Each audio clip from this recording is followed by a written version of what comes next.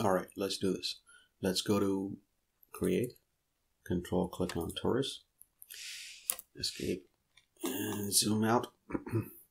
go in Torus, create a transform, and move it up by 0.2 so that it lines up with the ground plane. Go back out, go to Pyro FX and click on Fireball and select the torus, press return. It should come up like that. Let me just set up like that and let me run this through. Actually, before I run this through, let me change it to 120 frames because that's all we need.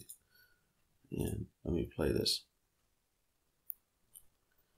Okay, we got something. Um, just zoom out a little more. Okay. it's going to Pyro import, create a volume visualization. And I'm going to choose my preset fireball viz, which is um, density, field density, and diffuse field is density in smoke, and emission is emission scale 2, temperature, color field is heat, and I use the uh, preset black body here. So that's all that is. Okay. And let me create a camera. And then let me create a light. Distant light. Okay, good. All right, so that's what we got. And let me just get out of here. Change this to smooth shaded.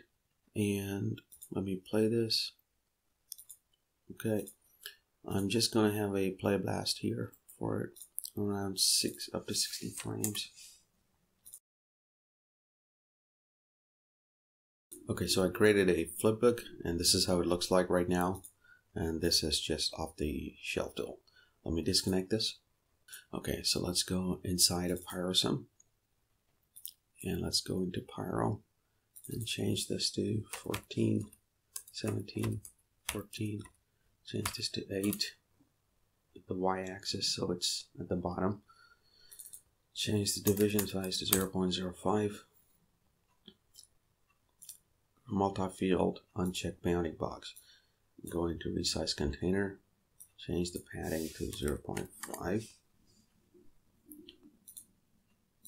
that's good. And nothing to change here. Going to Pyro Solver. Nothing to change there. Here gas release will become 10 and I'm going to click on shift middle click press F and then H.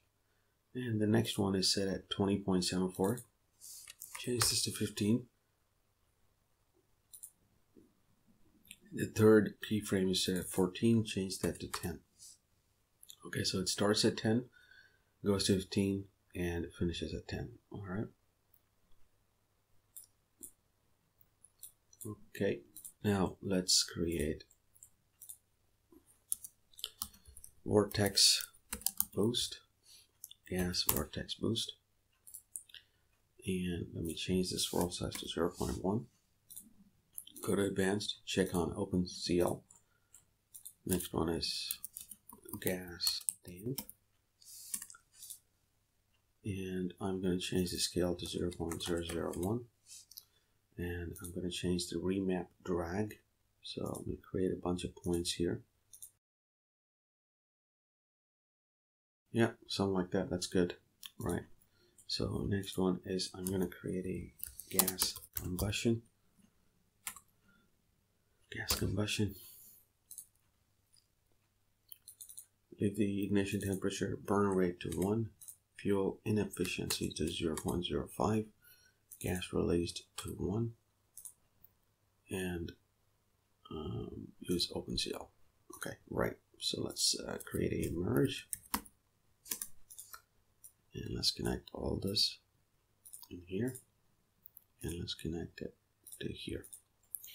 All right, press L, H, that's good. So now let me go and inside here into the Pyro import. And let me create a retime node. And I'm gonna go and change the speed to 4 alt click. Change the input frame range to 240 go to frame number 6 change this to 1 and alt click. Alright so I'm just gonna run this through for about 60 frames and I'll come back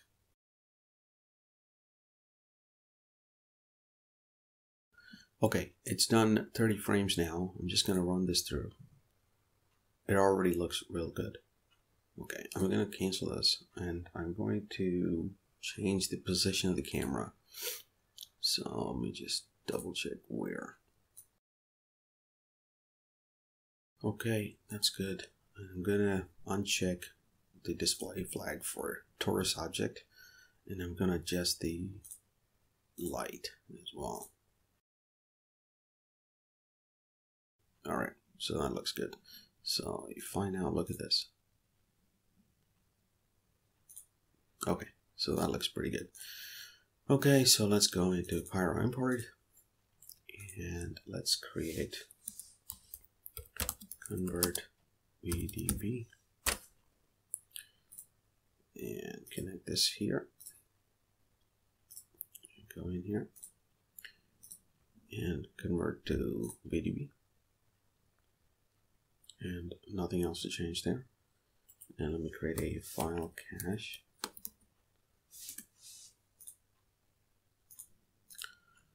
And I'm going to save this in desktop and I'm going to call this sim. And call this uh, pyro. Pyro underscore dollar f dot vdb and I'm going to change this to 48 okay? Um, right I will save this now and I will come back